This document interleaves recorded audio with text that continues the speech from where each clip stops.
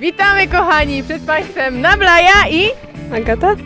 chciałyśmy Wam powiedzieć, gdzie dzisiaj się znajdujemy. Otóż jesteśmy na plaży w Gdyni, gdzie przed chwilą odbyła się ewangelizacja i koncert.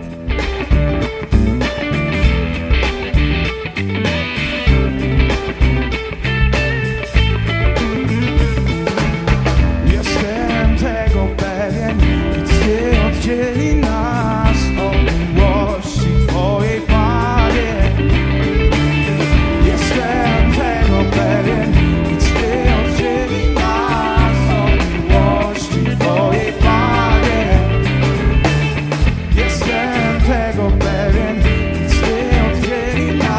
Jest to niesamowity festiwal, festiwal życia, festiwal zwycięstwa tego, co Jezus uczynił dla nas na krzyżu 2000 lat temu.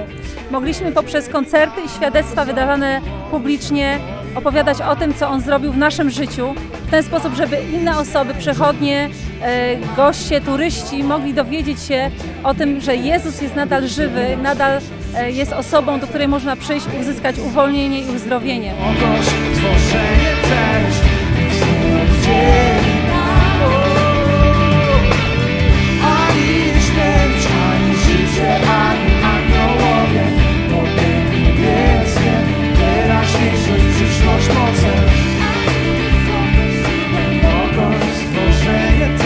Dzielimy się Ewangelią, opowiadamy o tym, co Jezus Chrystus uczynił dla nas, kim jest w naszym życiu.